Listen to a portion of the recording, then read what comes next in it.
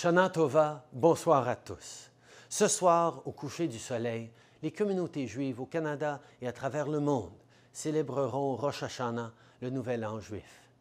Familles et amis se réuniront pour prier et partager un repas ensemble lors de ce moment de joie et de réflexion.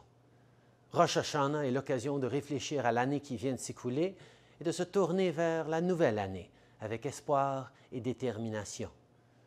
Alors que nous célébrons les 150 ans de la Confédération en 2017, c'est également l'occasion idéale pour célébrer les communautés juives partout au Canada.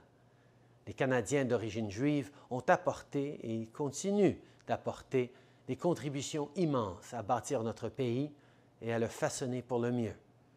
Rosh Hashanah is a time to appreciate the many contributions of Jewish Canadians and remember that we all have a role to play in changing our world for the better.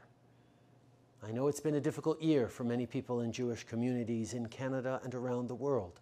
We've seen hateful anti Semitic acts targeting innocent people and the places where they gather and worship. But rest assured, the Government of Canada stands firmly with the Jewish community in the face of this hatred.